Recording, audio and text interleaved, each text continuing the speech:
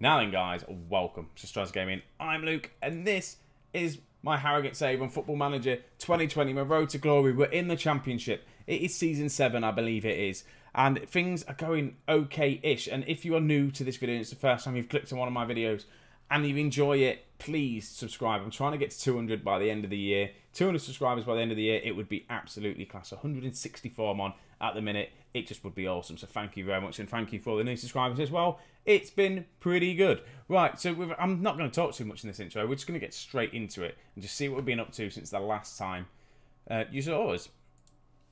So, last time out, we uh, we drew against West Brom. Well, we didn't. We, we got knocked out of the Carabao Cup by West Brom. On penalties, it wasn't a bad game. We did all right. And then we managed to beat Derby 2 0. It was good. It looked like September, good month for us. Form were going well.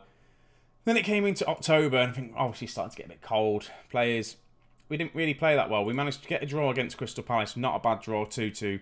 Um, Moles and Hayes getting on the score sheet. Hayes scoring the 89th minute to get us the equaliser. We then followed that up by three defeats. Uh, away to Middlesbrough 3 0, Brentford was 2 1, and Luton was 3 0 as well. But then changed the tactic, it's just not working, so I've gone back to the 4 2 3 1, and it worked. We managed to beat Fleetwood 6 2. Leighton Stewart, Pilkington, Anthony, McDonald, and Mario all scoring, and it was away from home as well. So we have a look at this. We've had some games where we scored seven goals, six goals. We can score goals when when we're on it. So hopefully today, when we play Sunderland, who are in sixth place, and QPR that are in third, we should hopefully be able to score some goals and do all right. League wise, it's still similar story. We're still in 18th place, seven points clear of West Ham. Um, the playoffs, we're nowhere near that. We're not even going to look at that, ain't we? 10 points, 9 points of getting into the playoffs. So actually, we're closer to getting into the playoffs than we are being relegated at the minute. But we won't think about that. There's a long way to go this season. We just need to uh, keep going. Leighton Stewart, though, as long as he doesn't get injured, he's on to getting top goal scorer for this season, which would be amazing if that is the case. So, yeah, Sunderland in sixth place. This is how we're going to be lining up. Tactics wise, it's going to load up. There we go. So, this is what I did before. Um, there is an injury there we need to kind of think about. I'll quickly sort that out now. So, McGee's going to be in goal, back from injury. Um, then we've got Bree. McDonald, I've dropped and I've um, dropped him in as centre back, and he's been playing all right at centre back, alongside him with Williams and then Shildon. Obviously, they've already built a partnership up. Then we've got Bird and Moles as the two midfielders. Pilkington, Anthony, Mario in the centre as an attacking midfielder. We've got two. We can actually now probably put him as a as a playmaker instead because we haven't really got a playmaker on the picture. We'll do that, and then Stewart up top. On the bench, Buckingham, uh, Wilkes. We've got Hayes. Um, anyone else need to think? Obviously, Lopez has picked up an injury. I didn't realise he's not. He can he can play, but I'm not going to risk him. I'm really not. Has he scored for us yet, Lopez? Lopez it's turning out to be a bit of a poor signing. I'm thinking of maybe selling him. He's done really well for us in the future, but if we can get some money for him, that would be awesome uh, for Lopez. But he's not done great, so I think I'm going to start giving Raphael a bit of a chance because he's got more. Um, well, he's younger, he's got more potential, so I think we'll, we'll start trying to give him give him a go. So I'm not going to talk anymore. We're going to get into this game and see how we get on. Team talk. I'm just going to say, just go out there and just, I have faith. That's my, that's my general thing. Just passionate, telling them that you've got faith. That tends to put them in good stead. It really does. Right, kick off, see how we get on. Corner kick, though, forwards. Oh, I thought we were going to go get a goal early on from a corner. Again, I still need to sit and play around with the corner settings. Um, I will do that at some point, probably after I've recorded this episode, if I remember. So remind me down in the comments to uh, play around with the uh, older tactics. But here we go, corner for Sunderland. We managed to defend it so far. Second cross comes in. Luke McGee is there and makes the save, which is awesome. Right, it's the counter, the highlight is still going. So is it going to be us? Pilkington picks the ball up quite nicely here. Pilkington with a shot. And we have seen him score goals like that before. And he goes close, but unfortunately doesn't get the goal. So nil-nil at half-time. A couple of yellow cards to kind of worry about a little bit. But overall, I'm going to say I'm happy with how things are going. Um, again, Sunderland are in sixth place. We're at home. Again, home games I really want to try and win. I'm going to make a sub, an early sub. Anthony is having a poor game, so I'm going to bring on Tyrese Shade. He's he's come on a couple of times and he's not done too bad. We'll do an inside forward and we'll uh, we'll get him on the pitch and see how he how he does. But the first highlight we're going to see of this second half, it's going to be is actually in fact it's going to be I was going to say a red card, but not Pilkington wins the ball back to Stewart. It's good tackle there, but surely is the ref going to play advantage and send that guy? If we should have got the free kick there, but goes for a corner. That was very weird. One thing I don't actually see is advantage be played in this game. Cross comes in. No one really there. Williams, though, picks the ball up. And the good thing about having McDonald as centre-back, he's also a very good midfielder. He's got some good stats, so he can play with the ball. He can certainly score a couple of goals for us as well. Right, here we go. Bree. Can we just find the goal? We're, we're getting all the possession. We're having all the shots. We're doing everything right at the minute. So we've just got to keep going. We're playing it out the back here. It's a bit dangerous. But ball over to Shade. Shade beats his man. Can they... He can't really do it again. He loses it out. But then Moles picks the ball up. Sunderland have dropped quite deep by the looks of things. Uh, we're just pressing and pressing and pressing. It's only going to be the amount of the time where the ball over the top comes. And that's a very good tackle from Williams. Corner kick and then another corner to defend. I don't like defending set pieces.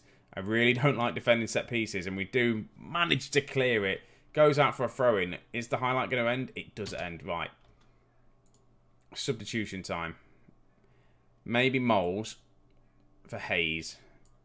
Then can can Hayes be a box-to-box -box midfielder? He actually can. So I'm going to leave Hayes as a box-to-box -box midfielder. Oh, I could put you as an attacking midfielder and just do an advance playmaker. In fact, deep lying playmaker for you. We'll do that, and we'll see how we uh, how we get on. I'm going to make another sub, and I don't know what to do here, but I'm thinking I don't want, yeah, high risk of injury Stewart. So I'm actually going to put Raphael on just to give him a game and just see he might come out of the woodwork and score as a goal. Also, there was some tactics about me telling to pass into space. So I might do that. I might go for hit the early cross and then can we where is the pass into space option? Pass into space, there we go. Let's see how we uh, get on. Made a couple of changes, a couple of tweaks, whether it's going to make too too much, but ah, Shades picked up an injury. Pilkington, Debris, tries to find the cross. Pilkington then picks the ball up. He's looking quite good, Pilkington is. Cross comes in. Tyrese Shade, the substitute, gets the goal. He's injured, but that is the all-important goal that what we need. And Pilkington, ah, it's not him, it's Bree. Picks the ball up. I put hit the early cross. Not quite early, but gets the cross in. Shades there. Puts it in the back of the net, and hopefully we can hold on now.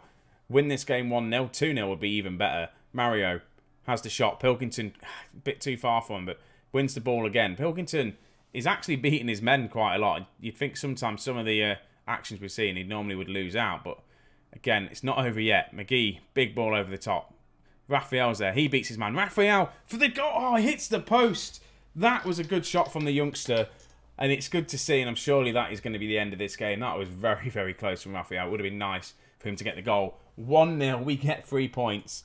That is a good start to this episode. It really, really is. Um, that was really special, lads. It really was special. Hopefully, fingers crossed, I may have got this tactic and this team working. All right, how injured is Shade, though? Two to three weeks, which is quite annoying. If we have a look at Shade, nine games, two goals. I'm playing him a little bit more. He's got potential to be a lot better. He's a fringe player. Obviously, he's 25, so I need to start playing him a bit more. His stats aren't particularly great. His physicals are really good. Technicals, he just needs to work on his passing and his technique. But showing a bit of promise at the minute. So, QPR up next. Let's get to that game now, shall we? So here we are then, the QPR game. I've made one change. I've brought on Hayes and then I'm going to rest Moles. I think just, I want to keep Hayes playing as well, keep him fit.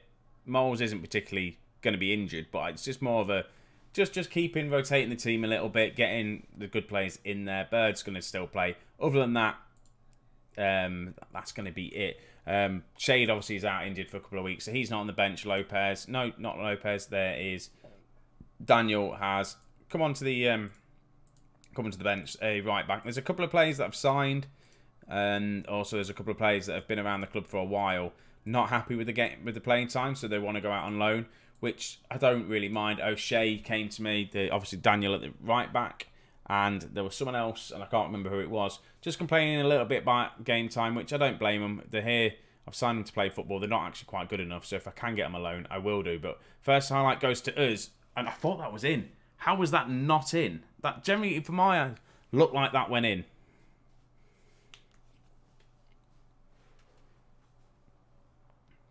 At QPR. Hopefully, though, we can do do all right, but I'm not too not too sure. Depends who gets the first goal, I think. If we manage to hold out until half time and then get a result in the second half, we should do all right. It's just getting through these first 20 minutes, I think, is definitely big for us. But we're looking like we're playing good. Stewart, what a goal that was. He's offside. What a touch that was and a finish. We go close twice. Shildon picks the ball up. Ah, can't get the cross in. But now, QPR come on the break. He should have really squared it. They had a man completely open in the box. We got let off with that one. We really did. Right, another highlight. Definitely this this setup, this formation, this playing fluid counter attack, the 4-2-3-1 seems to be at the minute working quite well for us. Whether we have to change back the tactic, the 4-3-3 at some point, I don't know. But we'll we'll keep it like this. Maybe just the 4-3-3 was just that little bit too defensive when we're trying to play attacking. We've got obviously Mario now. He's definitely we, we go we go one 0 down, unfortunately. But I reckon we can we can pull a goal back. Um, we've got Mario now. He's very good in that attacking midfielder role, so it's good to try and try and get him to play there and get that role working. And that is who is Sterling with a cross? Ah, oh, Dujon Sterling. One 0 It's fine. I'm not too bothered just yet.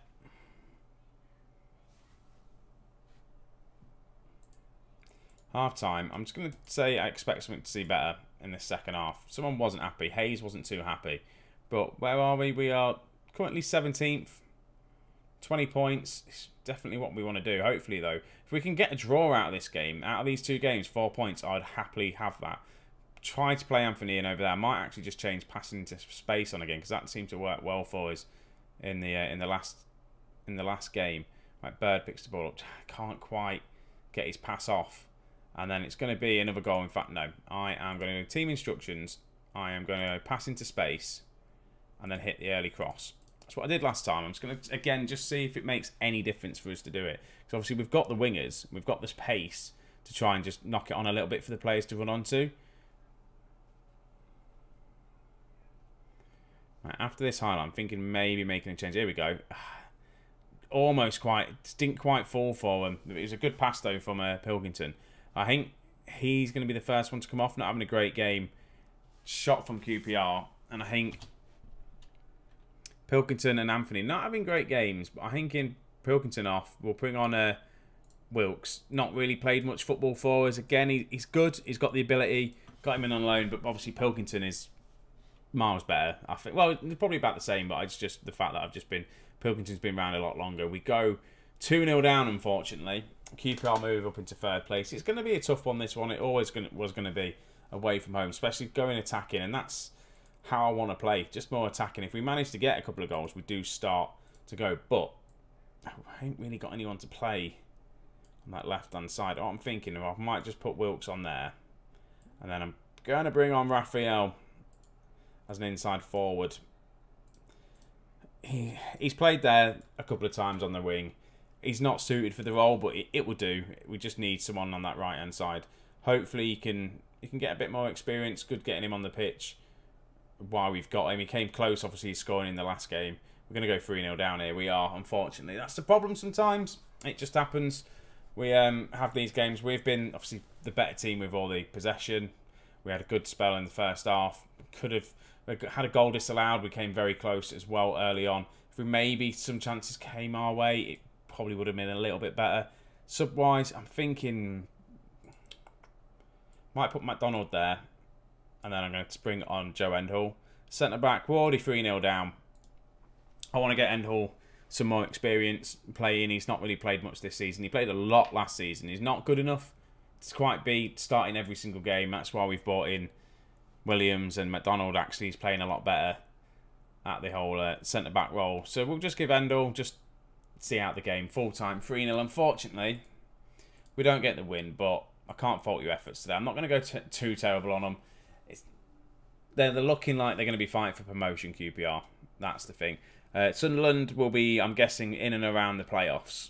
Um, so yeah, that was it wasn't a bad result. One 0 against Sunderland, but then we ship goals. And when we when we do lose the team, we do kind of shift a few goals, which is, is not great. But 1 0 against there, that's, it's decent. It really is. When are we going to come back next, though? Let's have a look. We've got Ipswich, we've got West Ham there. I'm going to try and play through quite a bit. I may play through to the end of December. We'll see. I might, not too sure. I might try and play through to the end of December. I might come back in the middle of the month, Aston Villa, Brentford. We'll see how much I get played to when I actually come recording. Obviously, we've got, in fact, the third round of the FA Cup definitely needs to be in an episode. So if I do come back, it'll probably be Middlesbrough and the the FA Cup third round just to see who we get into that. Uh, but other than that, I might just play a big chunk, try and get this season moving on a little bit, and then also it's getting into the transfer market time and finances wise, we've got two million in the bank. Uh, we are fine with wages and stuff. I might actually make a board request, and I'm just thinking of networking and I want to um, improve the youth intakes and stuff. So hopefully we should improve our youth recruitment superior quality of players entering our team. Let's go with that. We believe the club's youth recruitment is already good enough at a club our size. I might push this, but might, this might be a bad idea.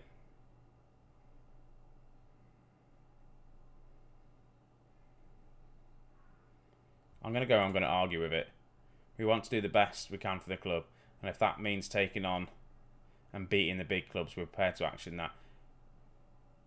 That gets us the meeting. Right, okay. Does that mean we're going to improve it? Right, let's just go. Yeah, get in. Right, I'm pleased to announce right to the board have agreed to the crest of the meeting. Our youth recruitment network budget has been upgraded, and over time we'll be considered on par with many clubs of our stature, which is what we need. It really is. Um, it's probably going to cost us a bit of money, um, but we need to um, start getting some regens through because the development centre under 23s is a very poor squad. Um, under 18 it's below average. It, it's not great, it really is. I don't think we've really got anyone in the under 23s. We've got, to be honest with you, we've got this kid, 18 years of age, sitting in there. Excellent youth prospect for us. He's wanted by a couple of clubs on loan. I'm thinking, do we just chuck him into the squad at some point? We'll see how we go. But he can, Richie can sit there for a little bit longer, see how we do. And we haven't really got anyone else under under 18s potential wise. There's no one here. There's going to be a lot of these that are just going to go. They're just taking up wage budgets that we don't need. And youth candidates, we, it's too early. It's not. We're not there yet. Loans, we've got players. These are the players we've got in on loan. The only one we've got out at the minute is George. Uh, is it Cruikshank? And he looked pretty decent. He's 20. I don't think he's going to be getting into our team anytime soon only worth 11k. So there's a couple of these players that will be looking to move on.